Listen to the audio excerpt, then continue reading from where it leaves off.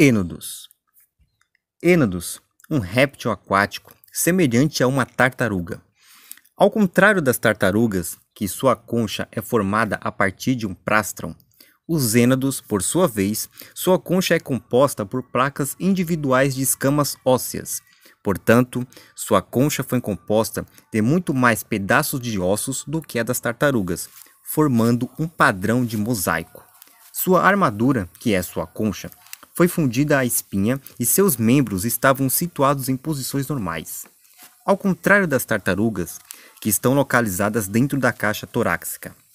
Ênodos viveu no início Triássico, há cerca de 2.025 milhões de anos atrás, e seus restos fósseis foram encontrados na Alemanha. Dimorphodonte Sendo da família de Pterosaurus primitivo, que acabou recebendo o nome de Dimorphodonte, que viveu no Triássico até o Jurássico inferior. Sua envergadura chegava até 2,5 metros. Possuía um crânio enorme e dentes de variados tamanhos. Os dentes da frente eram maiores e mais afiados do que os outros que eram pequenos. Suas mãos tinham garras afiadas, com o quinto dedo maior. Sua alimentação era por peixes, insetos e animais terrestres pequenos.